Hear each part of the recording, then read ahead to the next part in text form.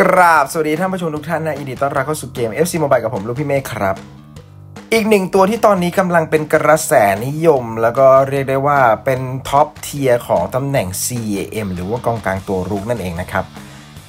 มาเลยแฮมซิกครับ เดี๋ยวเรามาดูว่าการเล่นของเขาเป็นแบบไหนเท้า5ทับ5นี่ยอดเยี่ยมอยู่แล้วนะครับ จุดเด่นของเขาคือการยิงไกลและการส่งนั่นเอง skill มาให้เนี่ยพร้อมเพรียงเลย skill move 4ดาว stamina 5หลอดนะครับ เล่นในตำแหน่ง CAM ได้และ CM ได้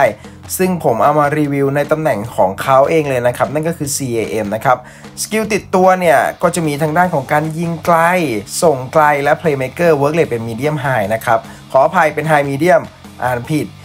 เม็ดแดงอยู่ที่ 280m โดยประมาณผมอัพยิงไกลเป็นหลักเพื่อที่จะให้เขาเล่นแถว 2 แล้วก็การยิงคมๆนะครับ เดี๋ยวดูกัน 2 โหมด Head to Head และ Manager ครับ ถ้าใครชื่นชอบการทำคลิปของผมนะครับ ก็สามารถสนับสนุนช่องผมได้ที่การสมัคร Membership กันเลยนะครับผมก็มีสิทธิประโยชน์มากมายรวมถึงช่องแชทก็จะมีนี่เลยครับ ตราสัญลักษณ์มังคุดอยู่ท้ายชื่อด้วยนะครับ ขอบคุณสำหรับการสนับสนุนด้วยนะครับมาดูกันที่โหมดแรกก่อนเลยนะครับ เพราะว่าผมเนี่ย เล่นทั้ง 2 โหมดด้วย 433 a c t a g ทั้ง 2 โหมด เพราะว่าอยากให้ดูว่าฮัมซิกวิธีการวิ่งยังไงเวลาเล่นในตำแหน่งของ CAM นะครับเจอก็ 424 ถือว่าเดือดพอสมควร เพราะว่า โอ้โห 433 a c t a g ไม่เกมรับไม่ค่อยดีเท่าไหร่อยู่แล้วนะครับเจอ424 นี่ก็เล่นยาก อยากให้ดูจังหวะการเติมเกม แล้วก็การขยับเข้าพื้นที่ของตัวแฮมซิกครับท่านผู้ชมดูลูกนี้ครับ ผมกดทิกเกอร์รันให้กุลิตเข้าไปปุ๊บนี่เห็นไหม เขาจะยืนรออยู่บริเวณหน้ากรอบเขตโทษต่ำกว่าตัวกองหน้าหรือกองกลางที่วิ่งสอดเข้าในกรอบเขตโทษนะครับ จะมีโอกาสที่ตวัดยิงสูงมากไอ้ตรงนี้คือ ผมว่าตัวไหนก็ยิงเข้านะ ในตำแหน่งตรงนี้ครับ แต่ว่าวิธีการวิ่งของเขาเนี่ยมันค่อนข้างที่จะเหมาะกับการเรียกว่าคัตแบ็กกลับมาให้เพื่อนได้ได้ซ้ำได้ยิงนะครับ อ๋อแล้วก็ในส่วนเวลาขึงหน้ากรอบเขตโทษ ตัวเขาเองเนี่ยก็จะมีการหาพื้นที่ในการเล่นนะครับ หาพื้นที่ในการเล่นเนี่ยเพื่อยิงไกลเยอะพอสมควร แต่ผมมองว่าไม่เท่ากับทางด้านของเวสลีย์ ชไนเดอร์เพราะว่าชไนเดอร์เองเนี่ยไม่ค่อยเข้ากรอบเขตโทษเท่าไหร่ แต่ตัวแฮมซิกเข้ากรอบเขตโทษเยอะกว่าชไนเดอร์นะครับ เพราะฉะนั้นการเล่นเนี่ย ถ้าท่านผู้ชมเล่น 4 2 3 1 n a r r o ที่เป็นแผนเมตาแผนที่เป็นต้นไม้ต้นคริสต์มาสอะไรนั่นนะครับ ก็จะหาโอกาสยิงหน้ากรอบเขตโทษได้ยากกว่าชไนเดอร์นิดหน่อย แต่จะเพิ่มโอกาสในการเล่นในกรอบเขตโทษเยอะขึ้นไป เพราะว่าผมลอง 2 แผนแล้วนะครับ อีกแผน 4 2 3 1 n a r r o ก็ลองแล้ว วิธีการเล่นคล้ายกันเลยครับ เหมือนกันเลยแต่ว่าผมเอาเล่น CAM ตัวตรงกลางนะท่านผู้ชม ตัวตรงกลาง เพราะฉะนั้นเนี่ยถ้าท่านผู้ชมอยากจะเอาไปเล่นซ้ายเล่นขวาก็ต้องดูเรื่องของความเร็ว ไม่ค่อยเหมาะเท่าไหร่สำหรับการที่จะให้ทางด้านของฮัมซิกไปเล่นซ้ายขวาในตำแหน่ง C.M. ของแผน 4 2 3 1 n a r r o นะครับมันไม่มีความเร็ว ผมคิดว่าการยืนตำแหน่งของเขาการยิงหน้ากรอบเขตโทษของเขา ทั้งลูกปั่น ลูกยิงธรรมดา แล้วก็ power shot ถือว่าตอบโจทย์กับการเล่นยิงไกลนะครับ เนี่ยจังหวะสวนกลับ ถ้าสมมติว่าเราสวนกลับมาเป็นไงสามสี่คนตัวฮัมซิกเองจะเห็นไหมครับ จะอยู่ด้านหลังกองกลางที่สอดเข้ามาอีกหนึ่งตัวอย่างของเราเนี่ยมีกุลลิตสอดขึ้นมาใช่ไหมครับเขาก็จะยืนอยู่ด้านหลังกุลลิตอีกอีกรอบหนึ่งอีกตำแหน่งหนึ่งจะคล้ายๆกับลูกแรกที่วิ่งสวนกลับมา แต่ลูกนี้เนี่ยพอออวิ่งเข้ามาในกรอบเขตโทษแล้วเห็นยิงได้แล้วเขาก็จะไม่มีการเติมเพิ่มเติมขึ้นมานะครับ ก็จะไปรอเล่นเกมรับ ผมลองเอาไปยืน CM แล้วเหมือนกันนะครับสำหรับ Head to Head ก็หลุดตำแหน่งบ่อย เพราะว่าส่วนใหญ่แล้วมันเป็นตัวรุกเนาะแล้วผมเนี่ยมีทางด้านของลูกุลิตยืนอีกตัวหนึ่งเป็นตัวรุกคู่กัน เวลาเล่น CM ทั้งคู่เนี่ยมันก็จะไม่ค่อยมีใครลงมาช่วยเกมรับเท่าไหร่ ผมว่าไม่ค่อยเหมาะเท่าไหร่ ถ้าสมมติว่าคุณมีตัวเกมรุกอยู่แล้ว แต่ถ้าคุณมีกองกลางตัวรับ CDM ดีๆ มี CM ที่เล่นได้แบบ box to box หรือว่าเล่นเกมรับได้ดีอย่างพวกวิเอราตูเร่อะไรแบบนี้ครับ คุณจะเอาฮัมซิกไปเล่น CM ก็ไม่แย่ เพราะว่าเขามี playmaker ในการจ่ายบอลทะลุขึ้นหน้าด้วย แล้วก็ยิงไกลยอดเยี่ยมนะครับ ลองปรับใช้กันดูสำหรับ head to head จุดเด่นของเขาเนี่ย อย่างที่ผมบอกไปเบื้องต้นครับ คือการส่ง ผมว่าแม่นยำนะ แล้วก็การหาตำแหน่งยิงไกล เออ มีการสอดเข้ากรอบเขตโทษด้วยนะครับ ผมเล่นหลายเกมมากเมื่อวานสำหรับ Head to Head ไม่ว่าจะเป็นแผนเนี่ย4 3 3 a c t a g นะครับ4 3 3 Holding ลองเอาไปเล่น CM แล้วก็ 4 2 3 1 Narrow วิธีการเล่นจะคล้ายกันหมดเลยครับ คือการวิ่งเข้าไปอยู่บริเวณหน้ากรอบเขตโทษ และหาจังหวะสอดเข้ากรอบเขตโทษ เพราะฉะนั้นลองดูถ้าใครชื่นชอบตัวนักเตะแบบนี้สำหรับการเล่น Head to Head น่าจะเป็น top tier ของ CAM ไม่อยู่ที่ 1 เป็นรองซิโก้ก็อยู่อันดับ 2 มีอยู่แค่นี้แหละ ผมว่า 1-2 เนี่ย แล้วก็ตามมาด้วยชไนเดอร์ ผมว่าซิโก้น่าจะอยู่อันดับ1นะครับ แล้วก็ตัวเขาเองเนี่ยฮัมซิกอยู่ 2 แต่ว่าผมว่าใกล้เคียงกับซิโก้มากครับ แต่ตัวเขาใหญ่ เขาจะได้ร่างกายที่ดีกว่าซิโก้ ดีกว่าชไนเดอร์นะครับชไนเดอร์นี่ตัวเล็กมากซิโก้ก็ตัวเล็กมากนะครับฮัมซิกยังสามารถเบียดเบียดบังๆ ได้ในจังหวะถูไถนะครับ ผมคิดว่ามันโอเคอยู่ เนี่ยเห็นไหมมันก็จะมีจังหวะสอดเข้าไปในกรอบเหมือนกันเนี่ยผมพยายามจะส่งบอลให้เขานะครับ วิ่งเติมตลอดสวนกลับมันฮัมซิกเนี่ยใครที่ชอบเล่นสวนกลับอะไอเพซีสองสามหนึ่งในโลมาสวนกลับสนุกอยู่แล้วนะครับ มันก็จะมีมิติการวิ่งที่เยอะขึ้นสำหรับตัวแดนหน้าสนุกมากนะครับ ลองเอาไปเล่นกันดูครับสำหรับฮัมซิกผมว่าอยู่ที่ 7.5ถึง8เลยนะครับสำหรับ head to head นี่น่าจะเป็น ตัวที่เรียกได้ว่า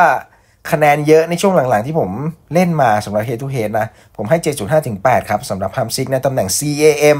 เดี๋ยวเราไปดูกันต่อในโหมดของ Manager ซึ่งผมบอกเลยถ้าคุณคิดว่า head to head ฮัมซิกเก่งแล้ว Manager เรียกได้ว่าเทพเจ้าครับท่านผู้ชม เกริ่นไว้ตั้งแต่แรกว่าเอ๊ะ ทำไม manager ถึงเรียกว่าเทพเจ้า ผมว่าฮัมซิกตัวนี้เนี่ย คะแนนอยู่ที่ 8.5 ถึง 9 เลยครับสำหรับการเล่นใน manager นี่แค่เม็ด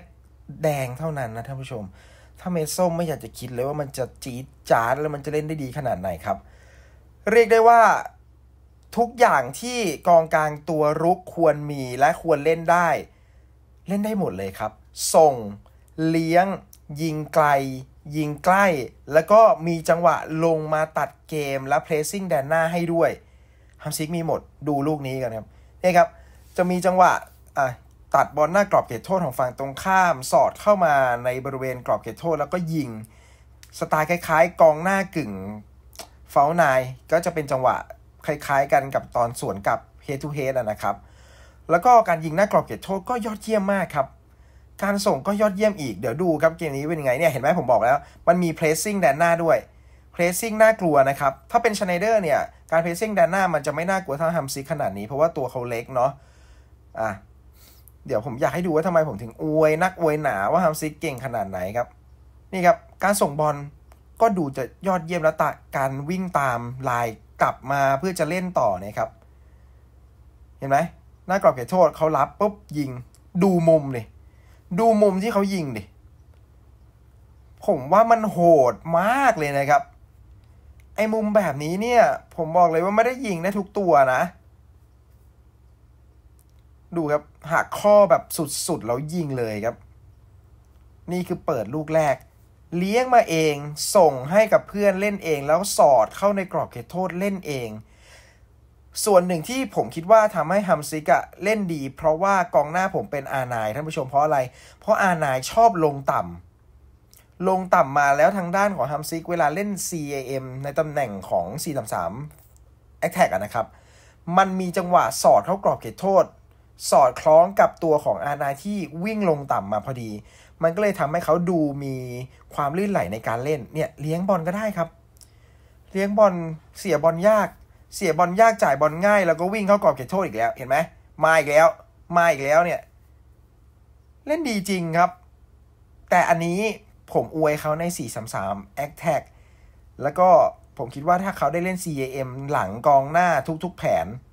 จะดีมากสำหรับ manager นะครับ ไม่รู้แหละใครเล่นแล้วรู้สึกยังไงกับฮาร์มซิกลองคอมเมนต์บอกหน่อยนะสำหรับผมมันดีกว่าชไนเดอร์อยู่ในเรื่องของการวิ่ง เรื่องของร่างกาย แล้วก็การส่งบอลดีกว่าชไนเดอร์นะครับ ส่วนความคล่องตัวก็เฉยๆอะมาอีกแล้วครับฮัมซิกจ่ายมาเห็นไหมคือบอลมันง่ายมากครับบอลของฮัมซิกมันง่ายมากก็คือจังหวะควรเลี้ยง มันก็จะเลี้ยงโดน press มันก็จะเลี้ยงแล้วก็ค่อยๆ ส่งใช่ไหมครับไอจังหวะควรส่งเลยมันก็ส่งเลยครับ AI มันค่อนข้างฉลาดอะผมว่าไอตัวเข้าใหม่ ๆ ที่ที่ยังไม่เคยมีใน FC Mobile แล้วเข้ามา ผมว่าเก่งเกือบทุกตัวเลยนะ จะเก่งมากเก่งน้อยเท่านั้นเองนะครับ อย่างไมคอนผมก็ชอบมากเลยสำหรับแบ็คขวานะอาซาร์ก็ดูเก่งครับแต่ฮัมซิกเนี่ยผมบอกเลยนะ ยอดเยี่ยมว่ะ ผมชอบมากเลยว่ะ manager นี่คือแบบสุดๆ ไปเลยนะครับท่านผู้ชม นี่แค่ครึ่งแรกมี 1 assist และก็ 1 ประตู เดี๋ยวดูครึ่งหลังครับ ยังมีให้ดูอีกเพียบครับ จังหวะการส่งบอลจ่ายบอลเน้นๆของเขาครับ มาอีกแล้วครับนี่ครับบทจะอยู่หน้ากรอบเขตโทษ ถูกที่ถูกเวลาไปหมดฮะ volley ไม่ต้องจับเลยครับ แต่ว่าลูกนี้ผมผมบอกเลยขอแค่ยืนตำแหน่งถูกกับใน manager ทุกตัวมันยิงได้หมดครับ มันเก่งตรงมันยืนตำแหน่งดีนี่แหละ ตัวอื่นก็ยิงได้ครับ แต่ว่า ตัวนี้มันสะเดาอะ มันยิงแล้วแบบมันมันอะ นะครับ ทรงผมเท่ด้วยให้ ให้คะแนนค่าทรงผม ผมให้ใน manager เนี่ยอยู่ 8.5 ถึง 9 เลยครับ ถือว่าเป็นอีกหนึ่งตัวโกงใน manager เลยนะ พวกตัวโกงๆอย่างเมสซี่เอ่อเมสซี่โยฮันครัฟฟ์อาร์ไนเนี่ยแล้วก็มีฮัมซิกเนี่ยแหละที่ผมมองว่ามันดูโกงนะครับ แล้วก็ OVR ไม่ไม่ได้ต่ำมาก ไม่ได้ไม่ได้สูงมาก ผมว่าเล่นได้ สามารถเอาไว้เป็นหนึ่งตัวหลักในทีม manager แล้วไปอัพ OVR ในตำแหน่งอื่น ๆ แทนนะครับจังหวะสวนกลับครับหมูไมคอน ตัวนี้นี่ผมไปเอาตัวฟรีมาเล่นนะครับ แล้วก็ยังไม่ได้อัพถึงเม็ดแดงเลย อัพถึงม่วง ลองตี 20%ไป 2 ตัว แห้งครับท่านผู้ชม หายไปเลย เหือดหายไปเลย มาเชผมโอ้ตอนนี้เนี่ย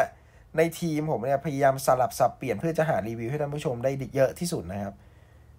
ขายบูฟฟอนขายมัตเทอุสไปเรียบร้อยแล้ว แล้วก็หาตัวมาเล่นเพิ่มเติมนะครับ ตัวที่ท่านผู้ชมพิมพ์พิมพ์กันมารอกันหน่อยนะ ผมจะพยายามพามารีวิวให้ได้ทุกๆตัวที่ท่านขอนะครับใจเย็นๆ โดยเฉพาะกองหน้าเนี่ยกองหน้าผมจะเปลี่ยนช้าหน่อยนะครับ